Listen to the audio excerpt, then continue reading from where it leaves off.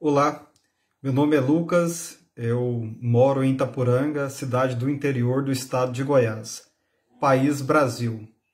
Bom, o futuro que eu quero libertar e ao mesmo tempo construir é um futuro que não haja mais preconceito, é um futuro que as diferenças possam ser respeitadas e, acima de tudo, possam ser valorizadas diferenças de todos os sentidos, de todos os tipos que o respeito à natureza e aos seres vivos que nela habitam possam ser uma máxima da humanidade. Então é esse o futuro que eu quero libertar, onde não haja mais opressão, onde não haja mais violência, exploração, miséria social, destruição do meio ambiente, destruição uh, da floresta amazônica, enfim, é um futuro possível, não somente para os seres humanos, mas para todos os seres vivos que habitam o planeta Terra.